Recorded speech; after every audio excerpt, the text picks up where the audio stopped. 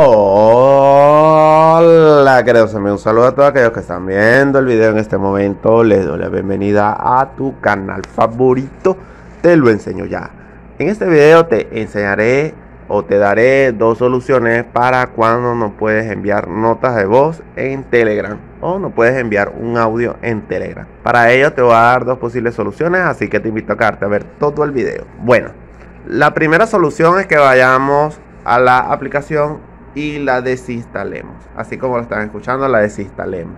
¿Por qué?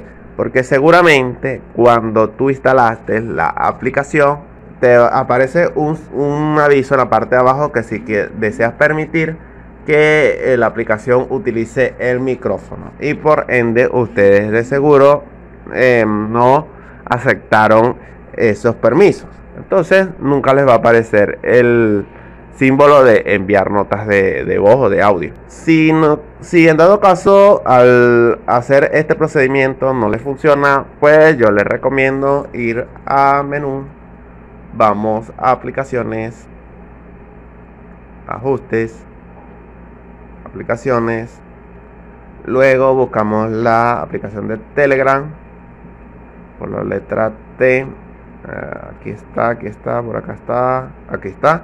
La vamos a seleccionar y luego de ello vamos a darle donde dice accesos. Entonces seleccionamos esa opción y acá donde dice micrófono vamos a seleccionarlo. Entonces esta opción debería aparecer como permitir ok le dan en permitir de allí eh, vuelven a entrar a la aplicación de telegram y verán que ahora sí van a poder enviar notas de voz a cualquier persona de una manera muy rápida y sencilla.